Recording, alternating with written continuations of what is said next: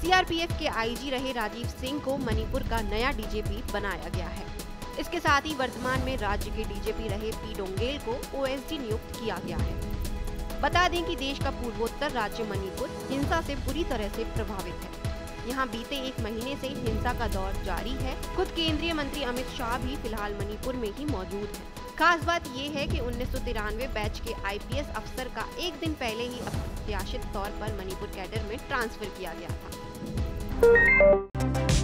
सांसदी जाने पर राहुल का दर्द एक बार फिर झलका है। अमेरिका दौरे पर कांग्रेस नेता राहुल गांधी ने स्टैनफोर्ड यूनिवर्सिटी के एक कार्यक्रम में कहा कि उन्होंने कभी सोचा भी नहीं था कि मानहानि केस में संसद सदस्यता भी गंवानी पड़ेगी। उन्होंने कहा कि भारत के वो पहले व्यक्ति होंगे जिसे मानहानि केस में इतनी बड़ी सजा मिली हो। पीएम मोदी पर तंज कसते हुए उन्होंने कहा कि भारत में लोकतंत्र अभी संघर्ष कर रहा है।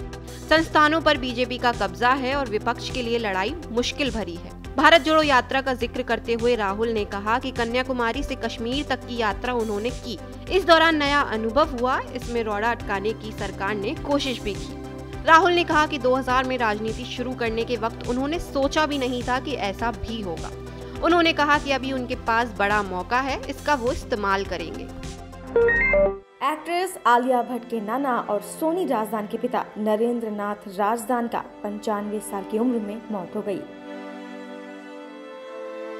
सोनी राजदान और आलिया ने पोस्ट शेयर कर इस बात की जानकारी दी है।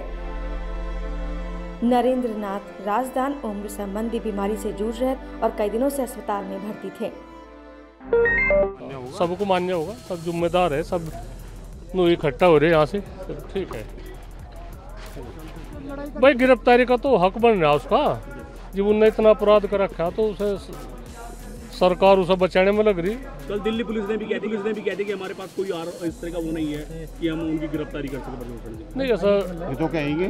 वे तो उसी उसमें रहेंगे उन्हीं के दबाव में रह करेगी। दिल्ली पुलिस तो काम तो कहेंगे। दिल्ली पुलिस ने तो उन पर भी जो हमारे खिलाड़ी है पहलवान है उन, उन पर भी मुकदमे कर दिया एफ़ आई आर कर रखी कल मेडल सारे आपके पास है तो क्या निर्णय समझा जाए जितने मेडल क्योंकि नहीं, हमने तो एक जो आपात स्थिति थी परसों शाम की तो उसमें किस तरह से पहलवान वासी में चले गए, गंगा में मेडल विसर्जित कर रहे थे।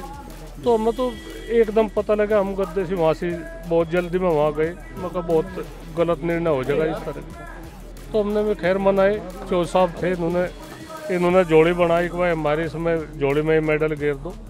तो उन्होंने हमारी पहलवानों ने बात मान ली पाँच दिन का समय उन्होंने दिया। और पाँच दिन बाद कुछ भी हो सके।